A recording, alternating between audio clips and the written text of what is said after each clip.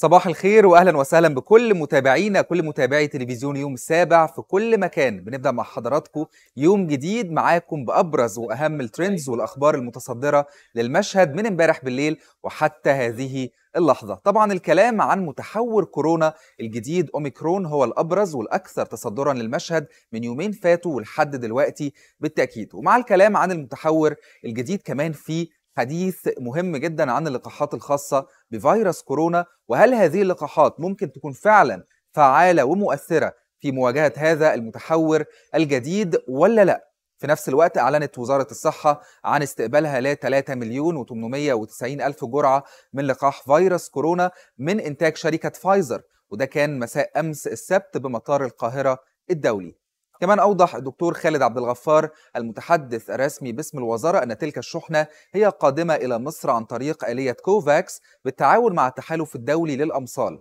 وذلك في إطار خطة الدولة للتنوع والتوسع في توفير اللقاحات للمواطنين للحفاظ على مكتسبات التصدي للجائحة. كمان أشار الدكتور حسام عبد الغفار أنه لقاح فايزر حاصل على موافقة الاستخدام الطارئ من منظمة الصحة العالمية وهيئة الدواء المصرية وهو عبارة عن جرعتين بيفصل بينهم 21 يوم لافتا إلى أن شحنة اللقاحات التي تم استلامها ستخضع للتحاليل في معامل هيئة الدواء المصرية قبل توزيعها على مراكز التطعيم على مستوى الجمهورية.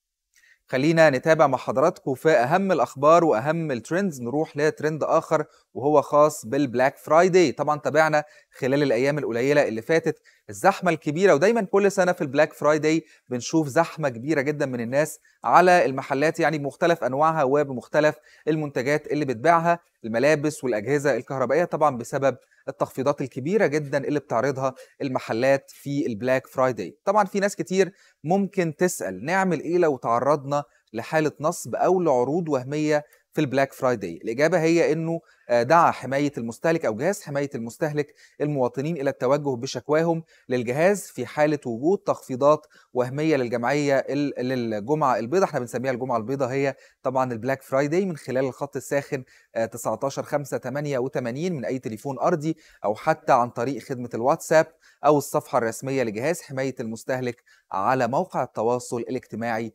فيسبوك وبنتمنى بالتأكيد كلكم تكونوا استفدتوا من ال Black Friday على قد ما تقدروا من التخفيضات اللي موجودة.